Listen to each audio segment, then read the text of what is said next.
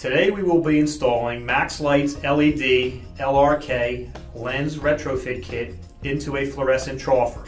This retrofit can be completed in just 10 minutes. Before installation, disconnect all incoming power to fixture, remove all electric parts and ballast compartment cover, leaving only the supply and grounding leads. Attach the lamp brackets on both sides of the troffer between existing fixture housing and T-grid with screws provided. Locate the swing door support located on each end of the lamp bracket. Install the swing door hinges into the keyholes on the lamp brackets. Make sure power is switched off before starting work using the LED driver wiring schematic included in the installation manual. After closing cover, make sure the latches are snapped in securely.